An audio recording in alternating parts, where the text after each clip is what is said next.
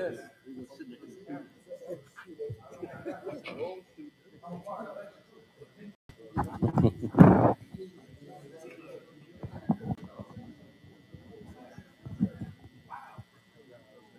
Does it? What do we need to? tilt the camera. It- It's not that bad. Look, look over there. Okay. You can kind of see it pretty well. Okay. Let me see. So- You just need to tilt it. Yeah. Yes, sir. Um, which lights? Sir? There's a glare. It probably glare. look better, right? With the light them right here. Which ones? This one. This one? You can see it at home.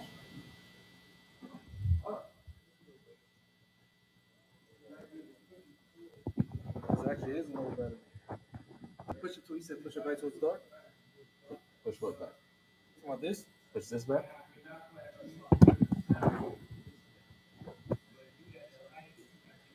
Here. It's good online, though. He said it's good online. They can see, they should be see very well.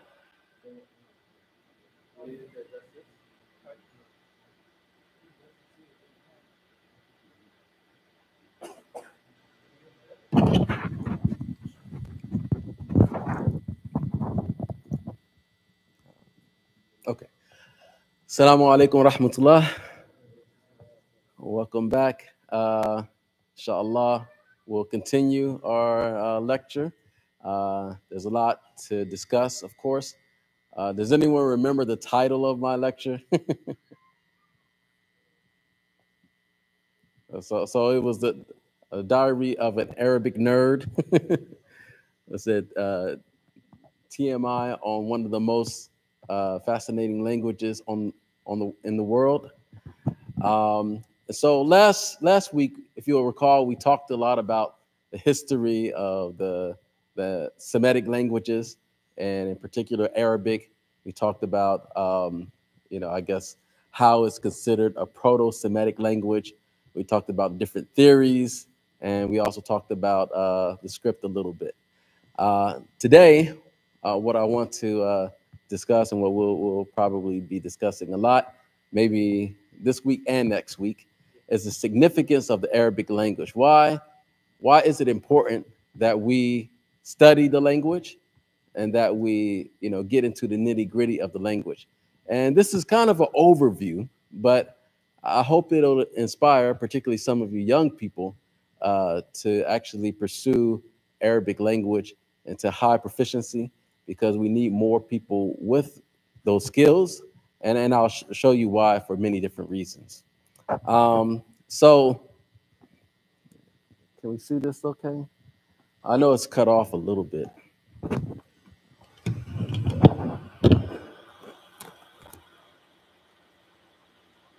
Okay. Sure if we can still get the whole thing, but anyway. Um, so the significance of the Arabic language.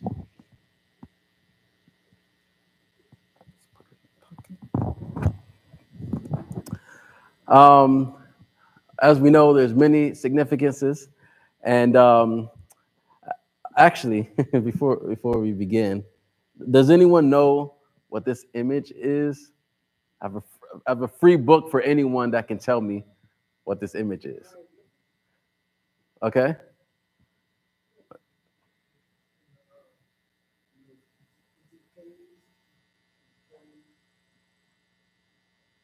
Okay, yeah, they're they're hieroglyphics.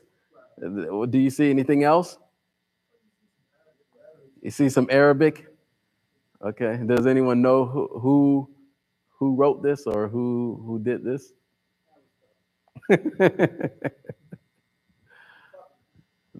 No, no, that was before their, their time, or just after their time. Uh, but uh, okay, we'll we'll talk about it a little in a, in in a moment or two. So, what are the significances of the Arabic language?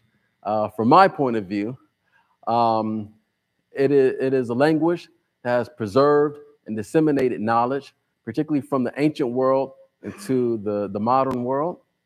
Uh, it's a case study for other Semitic languages, particularly Hebrew. Uh, it's the liturgical language of Islam and some other religions. Uh, what does liturgical mean? Yeah, used in uh, um, religious rituals. And then, um, of course, it was the lingua franca of the known world, particularly the, the Eastern Hemisphere, uh, prior to English. So if, if we really think about the hegemony of Arabic language, you know, let's say gen- generously, you can say that it was at least a thousand years that the Arabic language was used as a lingua franca in, in written works and uh, um, a language of knowledge throughout the Eastern Hemisphere. And if you compare that to English, English generously, we can say, has about 200 years as the, the a world language, right? And we know that Arabic has stored, you know, millennia of knowledge, and only a small fraction of that that uh, information has really even been printed into Arabic, printed into Arabic alone. Uh, never mind, you know, translated it into into English. Um, so first, let's talk a little bit about Hebrew. Uh, I don't know if any of you are aware that tomorrow is Holocaust Awareness Day. And so I see it befitting for us to talk a little bit about the Hebrew language uh, in relation to Arabic. Um, so last week, uh, I, ma- I, made a controversial comment that I didn't elaborate on.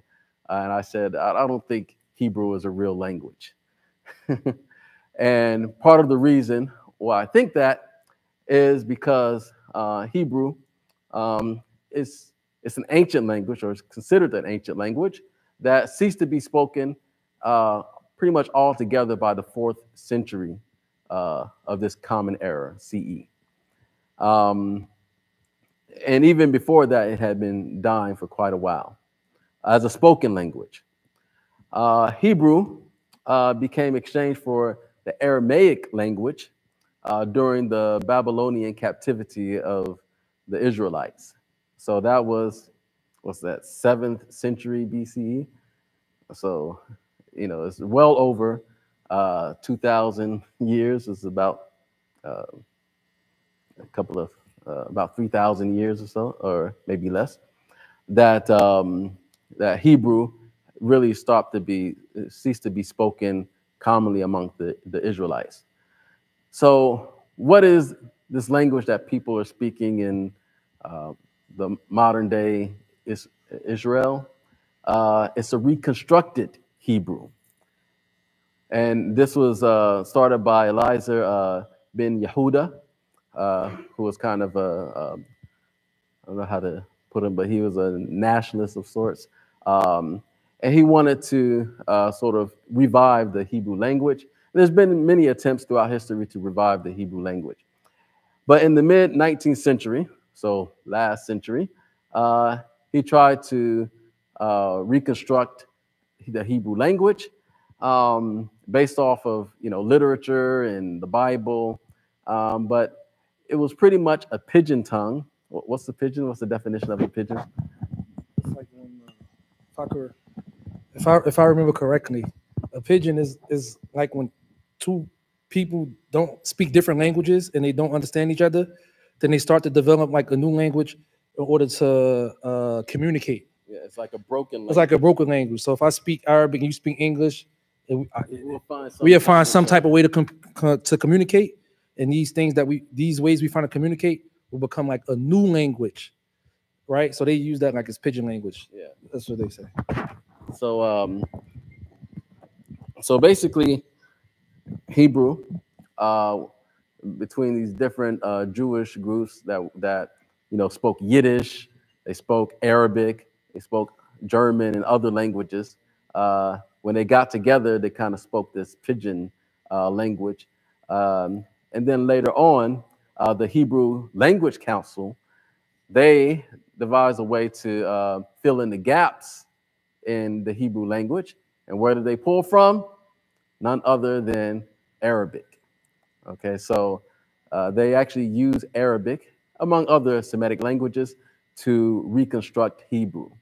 And even modern Hebrew, a lot of the common the the um, day-to-day terms are based on Arabic.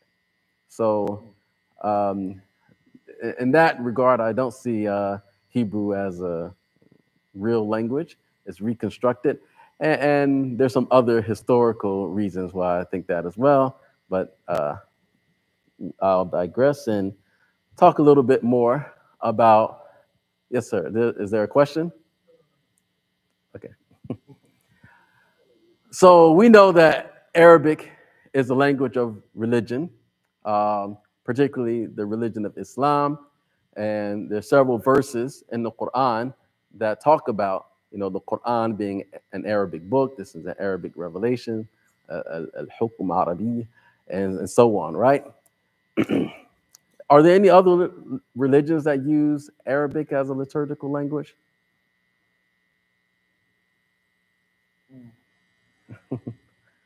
I think uh, Coptic Christianity. Um, they they they stopped using um, their native language maybe like uh, in the 13th century. Uh, sorry, uh, I just need to take a phone call. So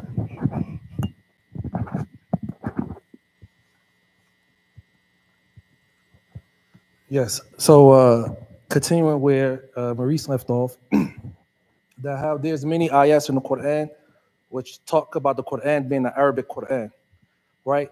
So that you may understand.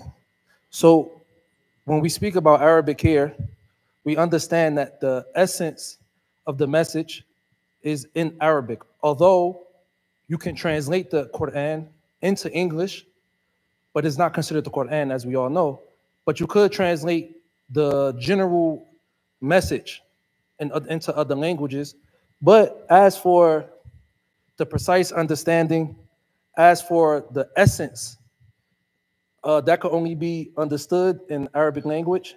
And this is the reason why you see around the world why different when different people accepted Islam, they hastened to learn Arabic language because they understood this and and, and quite uh, before modern times, you know, translation wasn't as common as it is now. So whereas here, you know, there's many translations of Arabic books into English and uh, Hadith or fiqh or Quran or uh, Aqidah, any subject. But prior prior to uh, let's say 70 years, even I'm pretty sure in some of you guys' times, there was no translation, right? And this was the case around the world, no matter where you went. So people were forced, people were forced to learn the Arabic language, not only for religious purposes, but as Maurice said, the way English is now around the world, whereas the lingua franca is the language of business, right? It's the language of the, the petrol uh, dollar or the oil. Arabic wasn't like that for a thousand years, not 200, a thousand years. So we have examples of uh, even Europeans that wanted to study medicine, even Europeans that wanted to study uh, or wanted to become uh, politically relevant. They had to learn Arabic. This is a fact. Even in the the you had in Spain, right, where you had uh, Islamic Spain, Al Andalus, and Al Andalus was a place of advancement, a place of knowledge, a place of uh, religious scholarship, to the point where the other Europeans from France, from all over Europe, will have to come to Spain, have to learn Arabic first, and then they will have to. They wanted to study, wanted to study medicine. They wanted to study uh, science. Any modern knowledge at the time required the uh, a learning of Arabic. So also here you see that Arabic wasn't restricted to a religious language; it was the language of the world. To the point where you had like Aristotle, uh, Socrates, these ancient philosophers, they, their works were lost in Europe. They were able to get their works coming out of translating their works from Arabic back into uh, Eng- English or back into Latin or back into Greek. To the point where uh, I don't know you, I don't know if you're familiar with Ibn Sina, but Ibn Sina was an Arab philosopher. He was he had a book called the Shifat. It was a book in medicine. This book in medicine was studied for 500 years in Europe. It was the standard medical textbook for medical students in Italy, right? In uh, you know France, in all of the European places, this was the, the standard. Do you have you ever have you guys ever heard of Ibn Rushd? Ibn Rushd, uh, for those who study Islamic studies, there's a book Bidayat Mujtahid. It's like a comparative fiqh book that they study even in Medina. But this Ibn Rushd, he wrote commentaries on Aristotle's works, right? To the point where when um, when Europe when when when Aristotle was translated back into European languages, they would study Aristotle's works with the commentaries of Ibn Rushd, a philosopher, a jurist from Spain. His commentaries of Aristotle were relied upon for hundreds of years. So even Christians that studied philosophy in Christian seminaries, they used to study Aristotle through Ibn Rushd commentaries. This, this how you know. So even when we look at Western advancement, you have to understand. Look, think about this. Columbus. I'm gonna let you go because now I'm going off on a, a little rant here. But it's very important for us to understand this. 1492. That's when Columbus famously, supposedly, eh, eh, you know, discovered the new the new world. Right. That same year, does anyone know what was what else happened in 1492? The Spanish Inquisition in the same exact year, where they pushed the Muslims out of Spain. So when the Spanish came to the New World, were you what, who do you think they were studying from prior? Right? So when we talk about transmission of knowledge, the transmission really the West started to, you know, gain power again by inheriting many works from the Arabic language. And you can look at this historically. So even when we talk about the Arabic language, this is a language that was spoken in uh, Arabia and Yemen by desert people to become the language of the world. This was the power of the Arabic language by desert people. This same language, the Ummah of the Prophet Sallallahu they was inspired by the Prophet Sallallahu and the Sahaba spread through amongst the world. And from there, wherever Islam went, the Arabic language went and it enriched civilizations. So, you know, when we look at um, Western dominance now, you have to study the lifeline of ideas. The lifeline, like, like we have a life, ideas have a life too. Where did intellectual history, right? In the inter- intellectual genealogy, right? So this is just in a nutshell, uh, you know, some of the importance, importance talking about the importance of the Arabic language.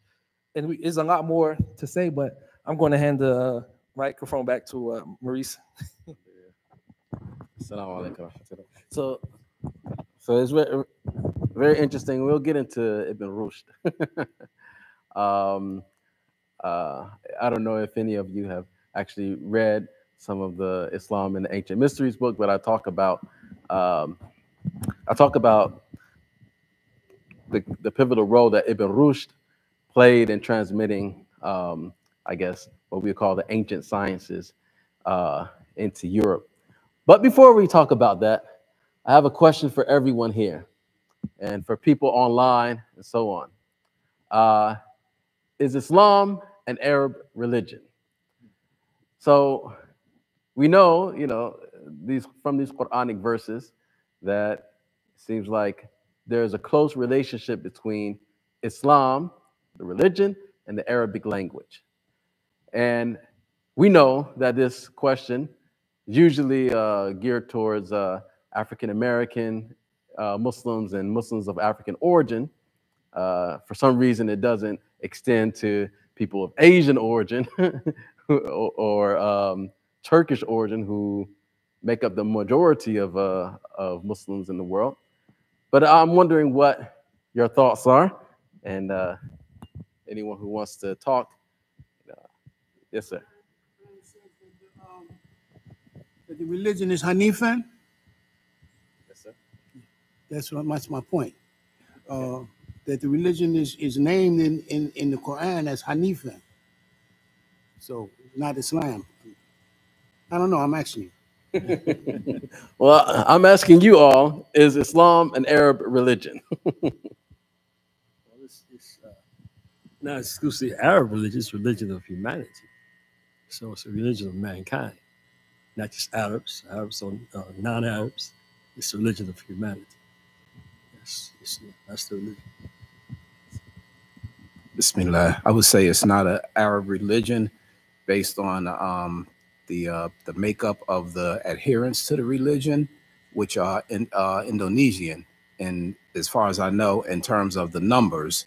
So, based on solely on the numbers, I wouldn't say that it is an it is an Arab religion. And one of the ayahs in the Quran it says, "Ya ayyuhan nas," right? O mankind. So that covers a big. Uh, that covers everything, doesn't it? The question is Islam. Is Islam is Arab?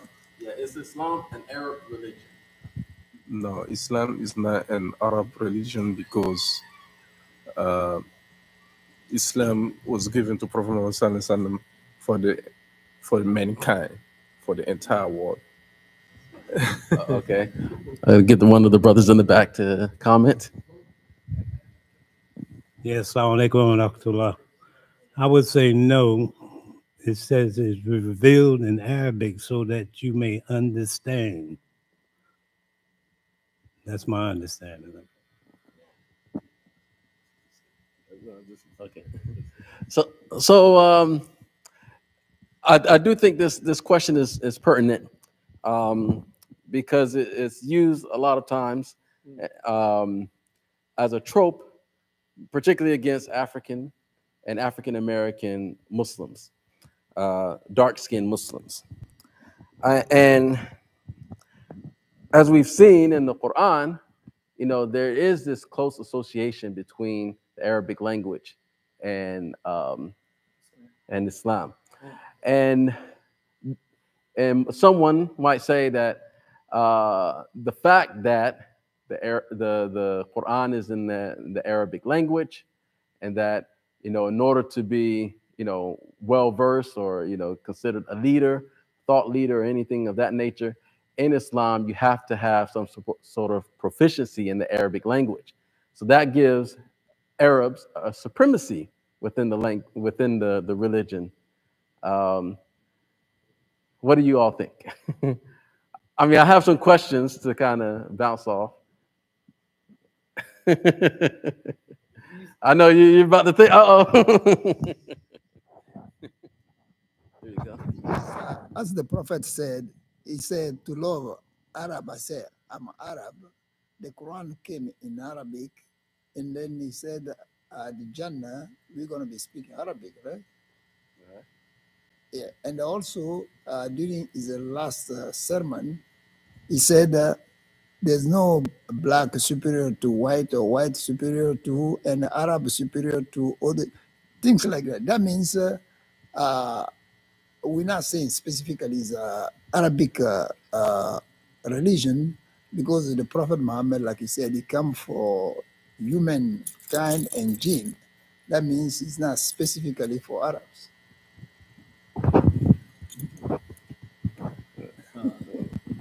What was the second part of your question? Y'all lost it. Well, I, I was just making the point that uh, someone can argue that um, because the, the Quran is in the Arabic language, and in order to study all these texts and things like that, you need some sort of proficiency in the Arabic language. So, doesn't that give people who speak Arabic as a native tongue some sort of sup- supremacy within the religion? that, that question is answered. That's a good question. Well, uh,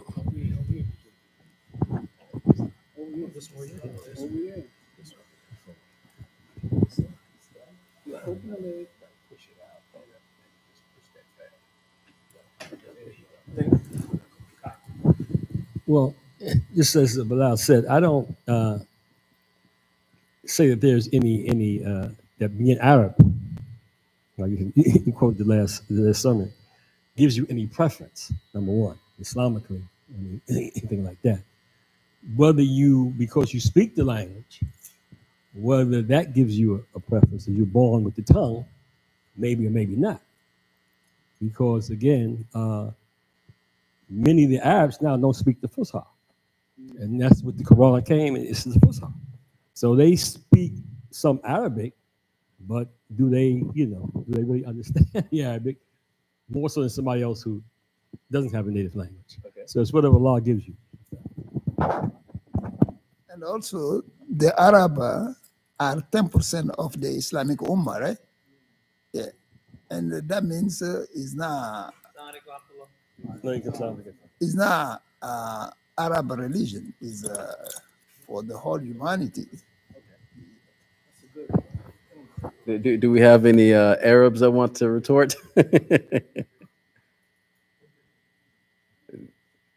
no? okay, so uh, of course, my answer would be no, Islam is not an Arab religion uh, per se. But there, there is some preference. We, we, we have to acknowledge that there is some preference given to the Arabic language. Um, and anyone who's been in um, countries or particular places where uh, you know Arabic is studied intently, so not just the country itself, but in centers where you know that attract a lot of uh, students from all over the world. They study Sharia, they study Arabic language and other things. Um, you, you know that the interest in the Arabic language, particularly Fusha, classical Arabic, you know, it comes from foreigners, uh, so to speak, non-Arabs. Uh, and like like uh, the brother over here mentioned, uh, you know, a lot of these centers are full of Indonesians, Malaysians, more than you know anyone else, just about. Um, so, just to to retort to this accusation that that that uh, Islam is is an Arab religion, I have some questions. Hopefully, we'll explore some of these. Who is an Arab?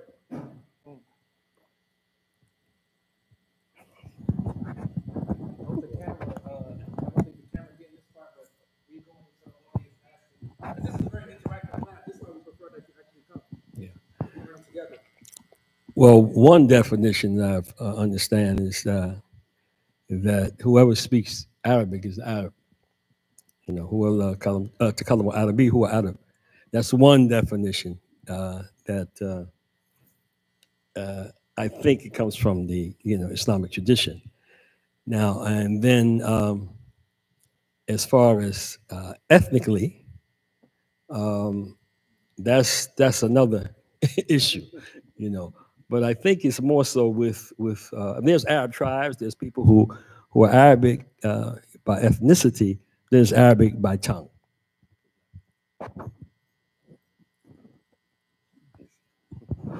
As I remember one of the khutbah, uh, the Imam was saying there's the people who become Arab, but they were not originally Arab. Yeah.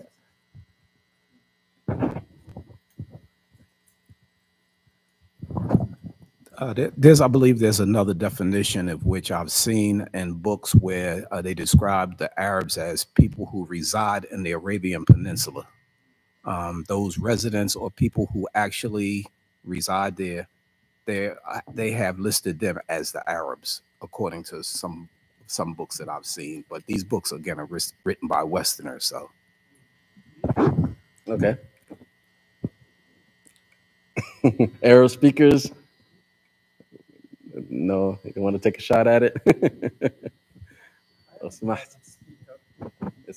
That's my native language. I was born over there, so I think I'm an Arab because I was born over there.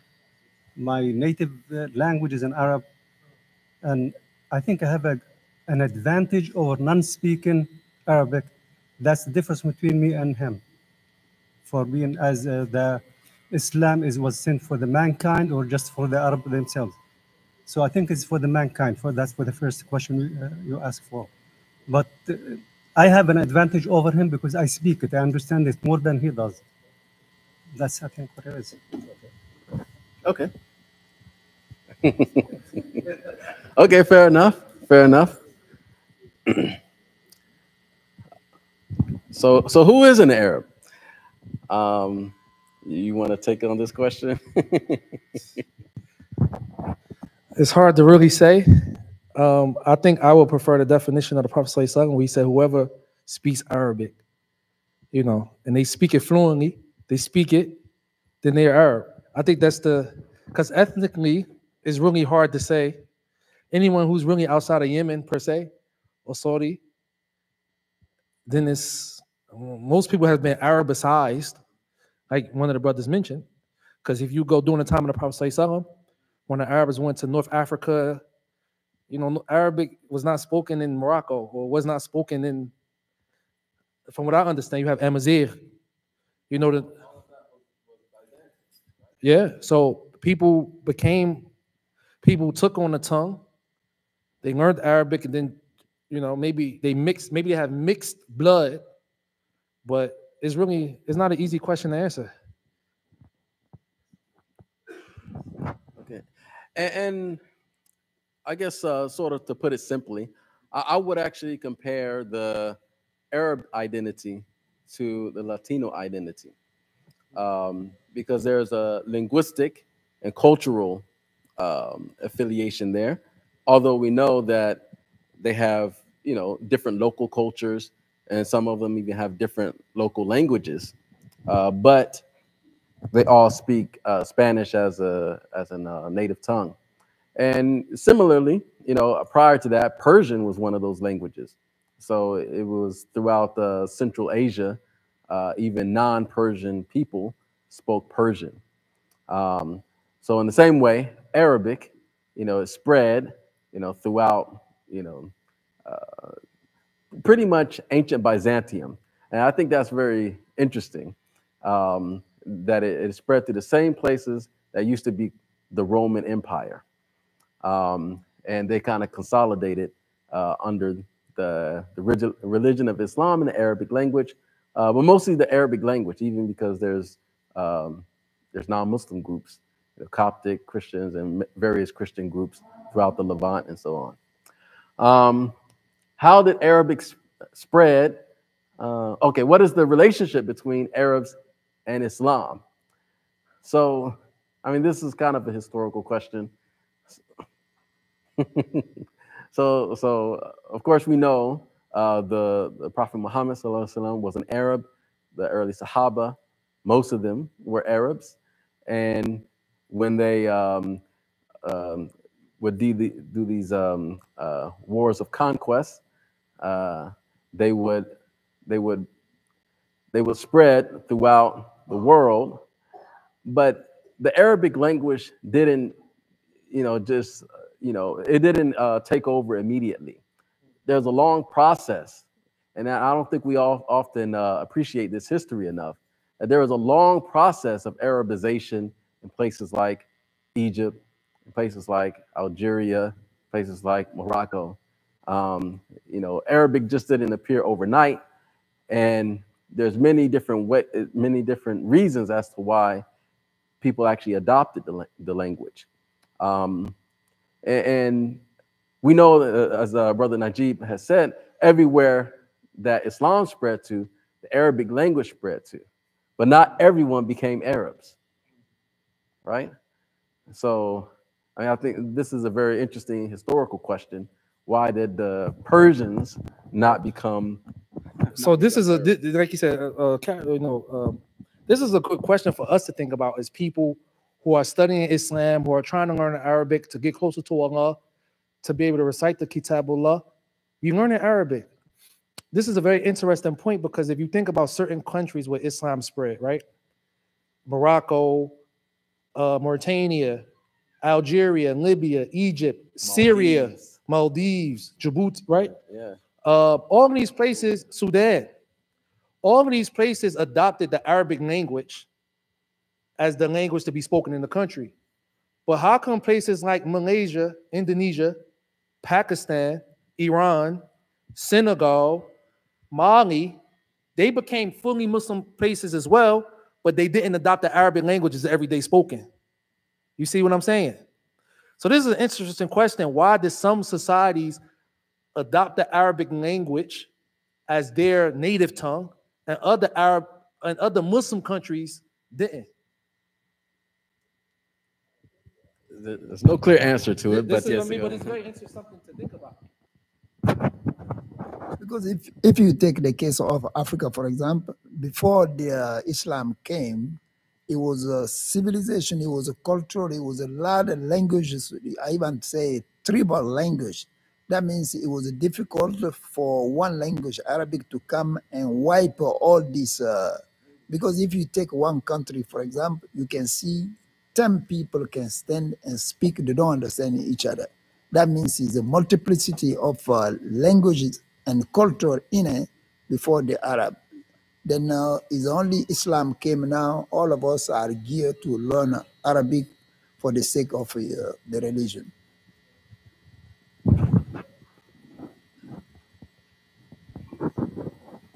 Yes. Yes, assalamu alaikum.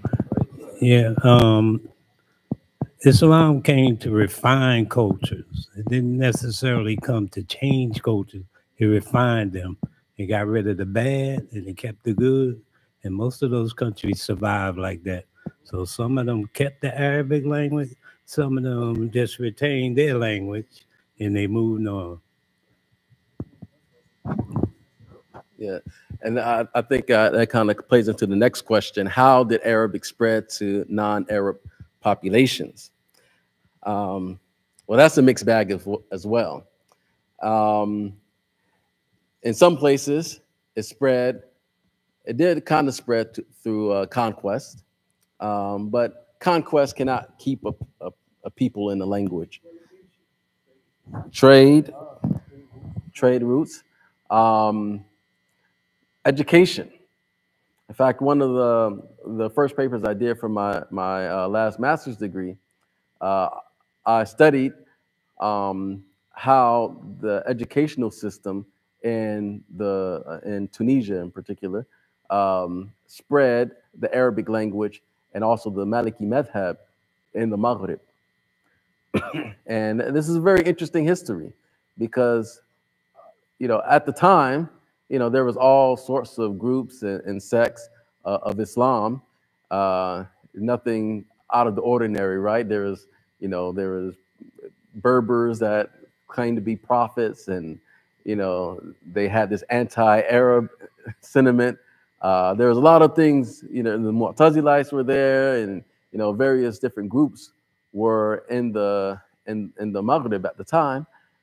But through education, particularly Arabic education, studying the Quran, people kind of slowly started to calm down, and they, uh, you know, they they would read the Quran, and then eventually they adopted the the Arabic language. Even though a lot of these people they were Christians beforehand, we don't even know that there was there was lots of Christians in uh, in Algeria and Libya and places like this. In fact, um, one of the the greatest uh, Christian early Christian writers, um, uh, Saint Augustine of Hippo, he was from current day Algeria, um, and and many of them were from Alexandria, Egypt, and so on. Um, so I think there's there's there's a cultural continuity through these uh, places that were in uh, Byzant- Byzantium, um, and they, they were very intellectual as well. I think, I guess, under Islam, they were able to really sort of uh, revive that intellectualism uh, through the Arabic languages. Okay, list the Arab caliph, ca- caliphs and dynasties. Why is that important? because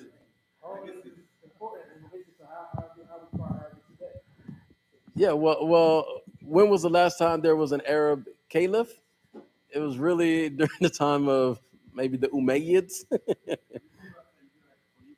Yeah. yeah, When was yeah? I mean, during the Abbasid, they became more Persian, you know. So, uh, and since the fall of the Ab- Abbasid Empire, there there really haven't been any. What's that?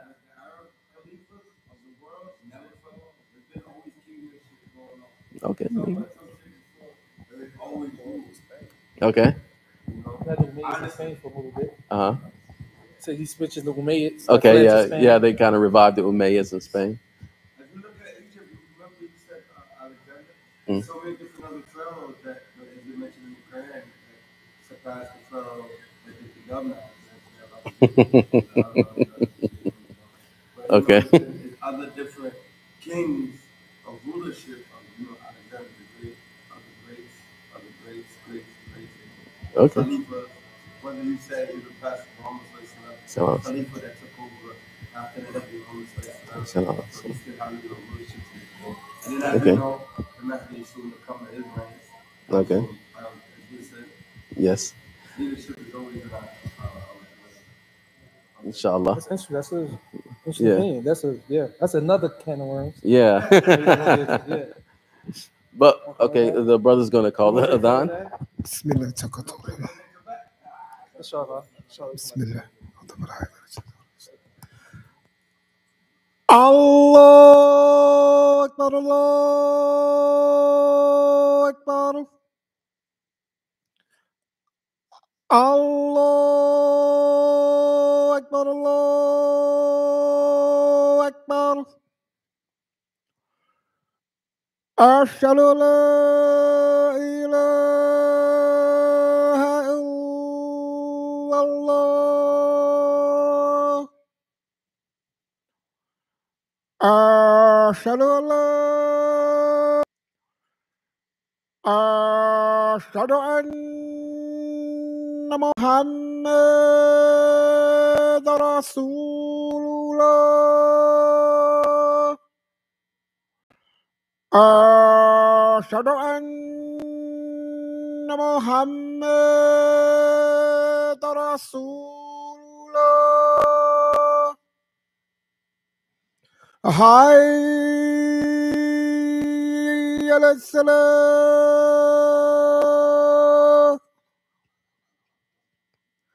حي على السلام حي على الفلاح حي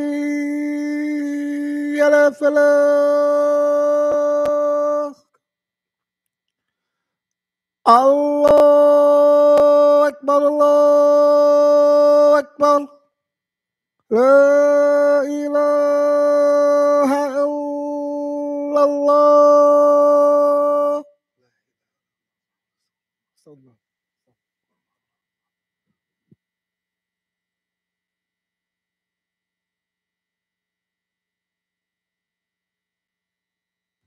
Should I continue for a couple of minutes? Okay, inshallah.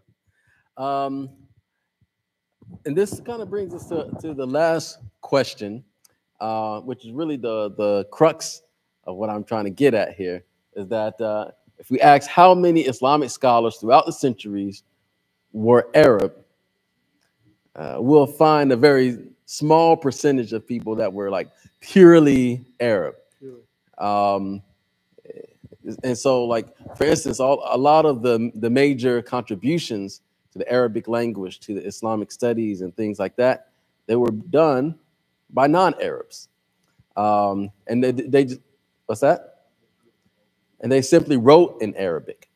Um so uh for instance even like one of the um, the earliest and probably most authoritative grammatical works it's written by sibawayh a persian who who who was laughed out of the the, the scholarly circles because you know he he didn't know Arabic properly.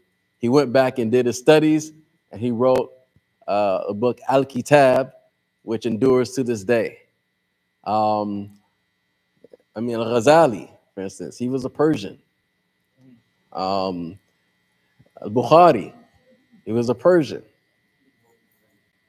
Yes, they, they spoke multiple languages, and but they wrote uh, in the common language in the lingua franca of the time of the era that we are still in, which is the, the era of uh, Muhammad sallallahu and Islam. And um, before I, I move on just a little bit, would you like to? Yeah, um, about this uh, contribution to scholarship, which is uh, very interesting. Uh, I'm gonna keep it brief. Is that even when you look at all of the uh, hadith books, from Bukhari to Muslim to Nisa'i, Ibn Majah, Abu Dawood, um, all of them were Persians. All of the six major six hadith collections. And I'm missing somebody. Tirmidhi. Imam Tirmidhi, rahimahullah. All of them were Persians, meaning they spoke Persian and Arabic. They were bilingual. Maybe multi multilingual. Abu Hanifa, Persian was his native tongue. Like imagine this. This is this is of this is from the Salaf. Think about this, the Salaf, right? People who met, some of the people who met the Sahaba or met the students of the Sahaba. Amongst them were giants that this religion cannot do without. But you could say at the very least they were bi- they were bilingual, many of them. Sibaway, like he says, right? The book Al Kitab in Nahu. It's the it's the it's the it's the most authoritative uh, book in Arabic grammar. Like you said, Imam Bukhari. I mean, that's enough. You know, rahimahumullah, who was a Persian, who was born in Uzbekistan, modern day Uzbekistan, right? And Imam Muslim and all of these uh, six uh, hadith collectors. And think about this, right? We have the six books of hadith by Persians. We have Abu Hanifa, rahimahullah, whose madhab is the largest in the world. The largest.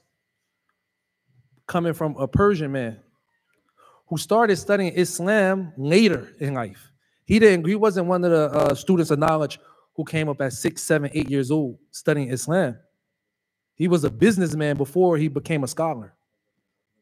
So many of these scholars had to make make effort effort the point is they had to make effort in learning arabic well so this shows you uh, you know and arabic is the only language that i know of where non-arab people became the masters and codifiers of that language i don't know any other language like this where where non-arab uh non-arabs became the imams of the language even the dictionaries so Arabic as a universal language. And the last thing I'm gonna say, even when like uh, I think Sheikh Shamsuddin mentioned this, where he said that um, you know, um, you know, re- revealed it in Arabic that you may understand.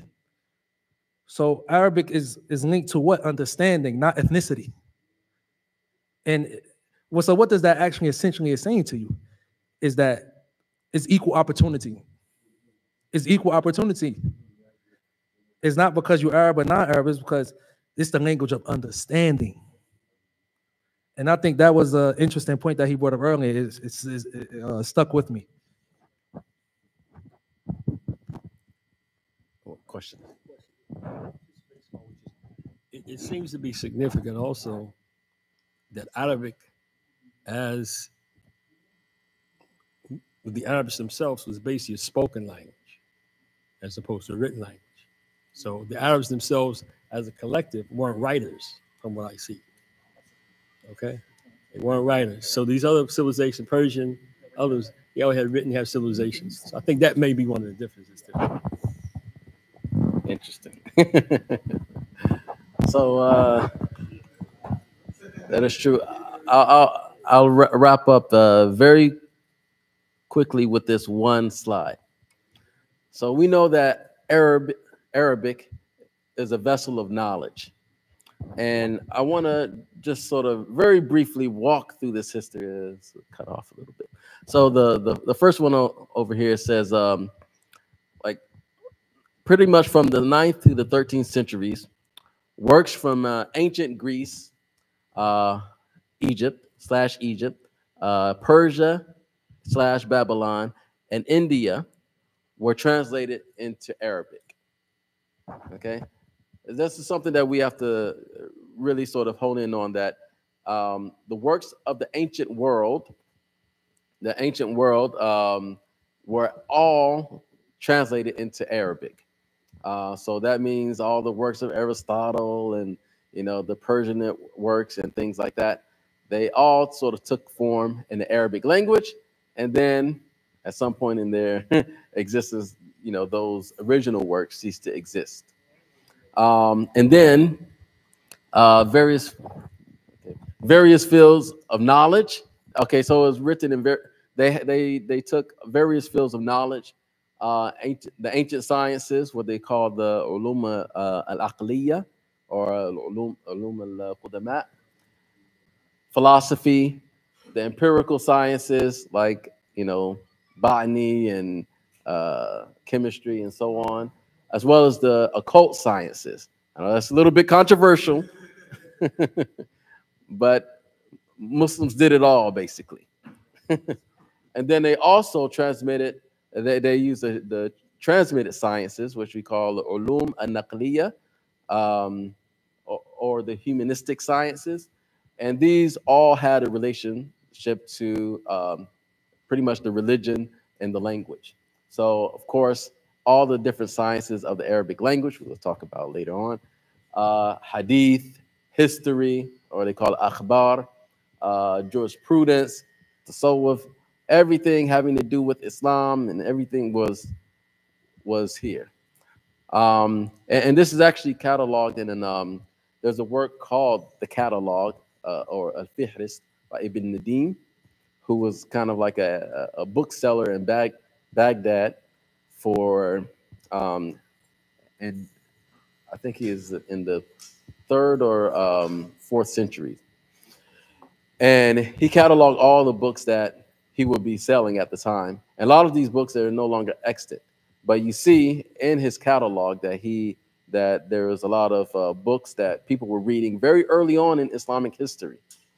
E- even though they say that the first two centuries, the first two or three centuries of Islam, there was no real reading or writing. But Ibn Nadim, his his work um, refutes that that position.